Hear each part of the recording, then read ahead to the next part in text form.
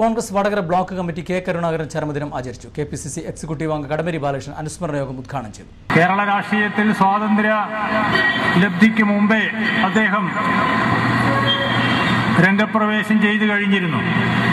നേരത്തെ രഞ്ജിത്ത് ഇവിടെ പറഞ്ഞു ചിത്രകലയോടുള്ള അങ്ങേയറ്റത്തെ ഉത്കടമായ സ്നേഹനിമിത്തം അദ്ദേഹം ചിത്രകല പഠിക്കാൻ വേണ്ടി കണ്ണൂരിൽ നിന്ന് തൃശ്ശൂരേക്ക് പോയതാണ്.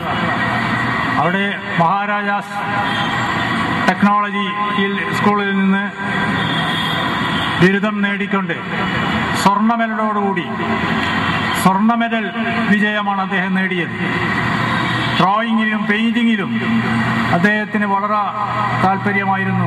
അത് രണ്ടിലും മെഡൽ നേടി അദ്ദേഹം. മറ്റൊന്ന് ഒന്നാം തരം ഒരു കാർട്ടൂണിസ്റ്റാണ് അദ്ദേഹം.